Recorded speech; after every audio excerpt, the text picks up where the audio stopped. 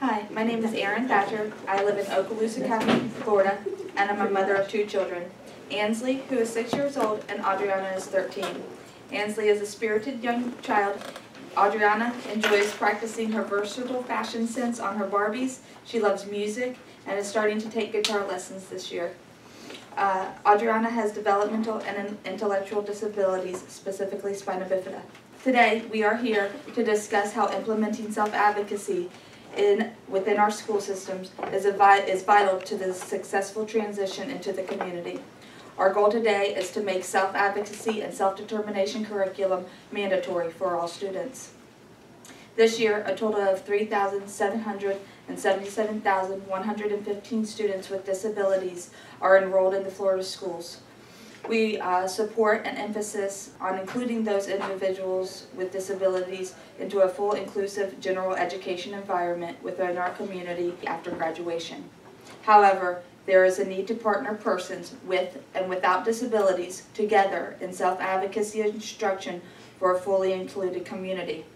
The good news is that such curriculum has already been developed through the Florida Department of Education and through Project 10. However, this curriculum is not mandatory. Implementation of this curriculum is of importance to further the goal of providing the tools of self-advocacy to everyone. Enhancing and building self-advocacy skills should happen over the span of the student's academic career, starting in elementary school and continuing through graduation.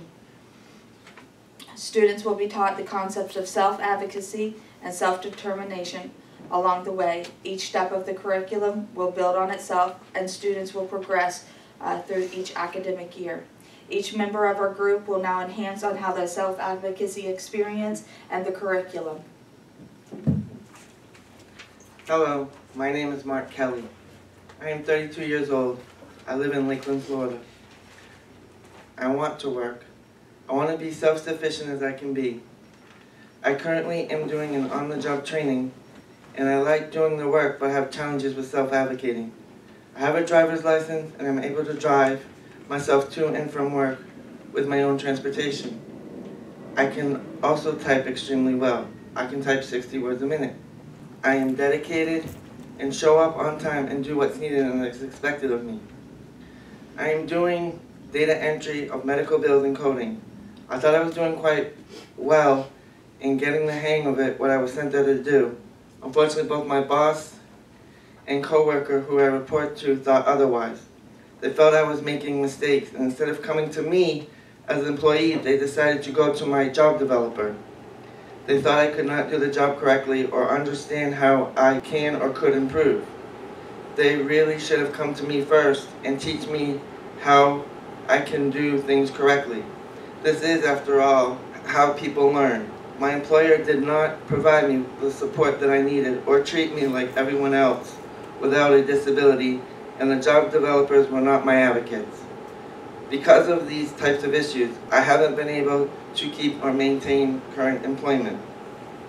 I truly think that my employer should be one of the community supports and they need to be more understanding of those of us with developmental disabilities. We can do anything just like anyone else with the supports and assistance. We need more help, understanding, and need more patience and willingness to work alongside us. I am now with my fourth employment specialist company because of the lack thereof of experience, training, and knowledge about how to work with people with developmental disabilities. Our state needs more professionals who truly understand how to support those of us with disabilities. If they spent more time asking or working alongside us and less time trying to change who we are, maybe they would be able to provide us with what is really truly needed, a community facilitator.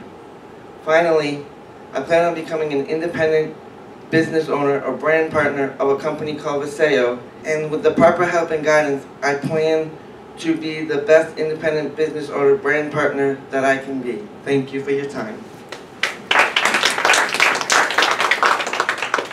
Afternoon. My name is Limari Munoz Ingram. I'm a proud parent of a beautiful young lady, Taya Paradise. She loves to sing and dance, and most importantly, she loves to watch Hallmark movies, that love story.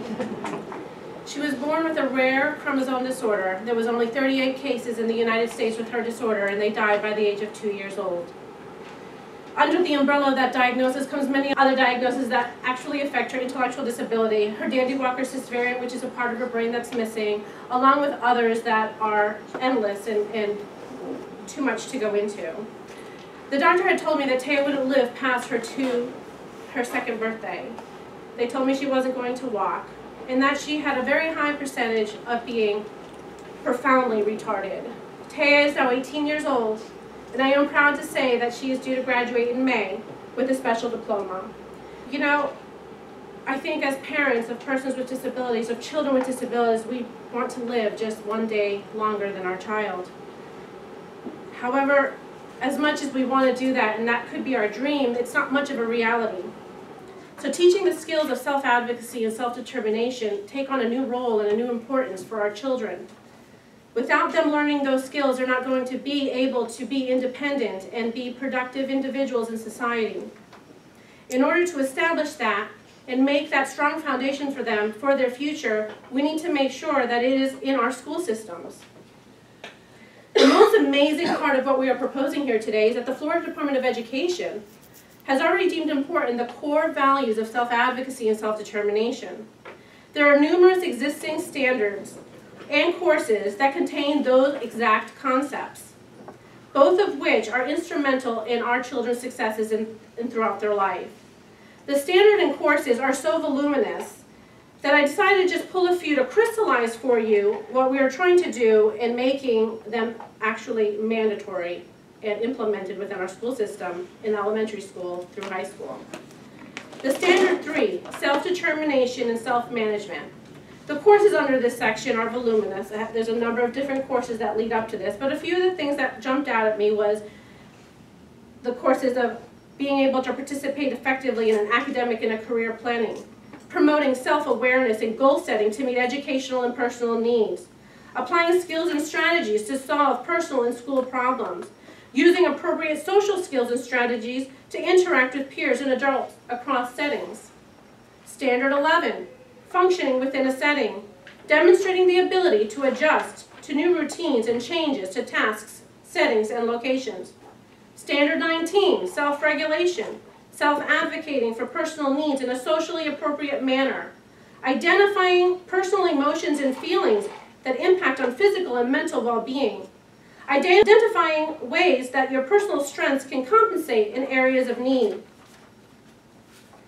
Standard 20, interpersonal relationships, responding in a socially appropriate manner to emotions and feelings. Using basic social communication skills to build positive relationships with peers and adults. Using conflict resolution strategies to resolve differences such as communicating, negotiating, and mediation. All of these are already in our system. The federal government has already deemed all of these important. However, in our IEP meetings, it's not implemented. They give us a self-advocacy goal in our IEP, but they don't teach them the skills on how to do that. And I go in this motion of going in circles and circles of talking that, well, she's not raising her hand, and she's not advocating, she's not asking questions. Well, there's a self-advocacy goal for a reason. You need to teach her how to do it. You need to do it one piece at a time. So if my daughter had received a lot of these skills early on, starting in elementary school, I feel that she would have had a stronger foundation now as she's transitioning into the real world. The lessons learned in these standards in these courses will teach those valuable skills necessary for our children to be productive and contributors. In conjunction with these Florida regulations and these standards, there's a program called Standing Up For Me which was established. And it's a curriculum that incorporates a lot of these standards. By incorporating these two, we'll increase all the attitudes, positive attitudes in the world and in society to help make a better place for everyone, not just persons with disabilities. Thank you.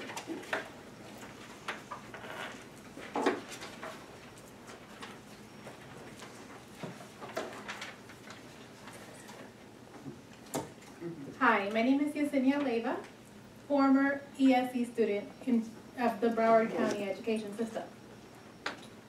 And I want to share with you a curriculum that indeed has already been put in place or has already been created. And that curriculum is the Standing Up For Me curriculum. The Standing Up For Me curriculum is a curriculum based on self-determination and goal setting uh, as your main goal.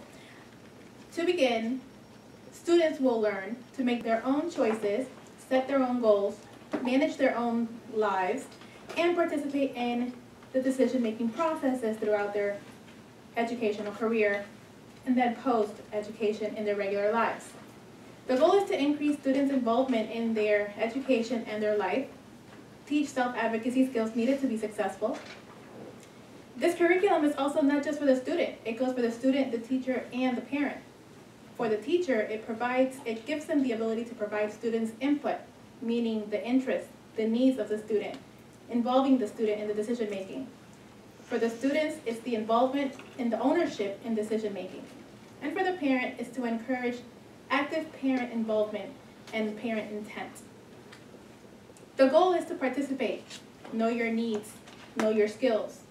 If you don't know what your different abilities are, then how can you possibly know what is out there to help you be more successful? To be able to stand up for yourself during IEP meetings, during a job interview, to be able to stand up for yourself in a social setting. All of those things go back to knowing how to advocate for yourself. Even and so for those in the younger years, in primary through elementary school, having active participation in your IEP meetings or your 504 meetings or whatever that education plan might be exiting that high school career. It's understanding the individual education plan, your strengths and your needs, your inputs, decisions, and developing your IEP, goal setting, advocacy, expressing your needs and the access services. What's my disability, what do I need, and how do I fulfill those needs? And again, participation. As a former ESE student myself, born with spina bifida, I know what it's like to be labeled mentally disabled because I have a physical disability. I too was put in the special ESE classes because it was easy. It wasn't until the seventh grade that I advocated for myself to be put into regular classes. In the middle of seventh grade year, and I had been in honors, AP, and regular classes ever since.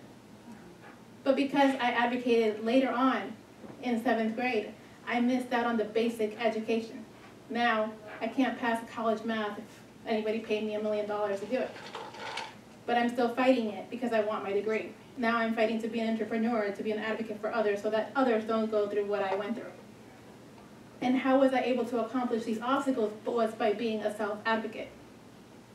I was told I would never drive, and I got my driver's license. I was told I would never go to college, I went to college. I was told I would never be independent, and I wouldn't live past a certain age, and here I am, standing before you. And all of those things go through that self-advocacy, self-advocacy skills that we must teach to our students in a school setting. Our children spend more time in school settings than they do at home. So why not give this power to those that spend the most time with our children to become self-advocates, become self-sufficient, become citizens of our community, and become empowered to handle their future. So we are proposing that the Standing Up For Me curriculum, in conjunction with the Florida Department of Education standards, become a mandatory course for those in elementary through high school, and that that be regulated by the Department of Education with the goal of developing self-advocates and increase the level of acceptance of our non-disabled peers. We are not only proposing that this be given or exercised with those with disabilities. We are proposing that this be across the board to all with and without disabilities to teach the self-advocacy skills to be successful.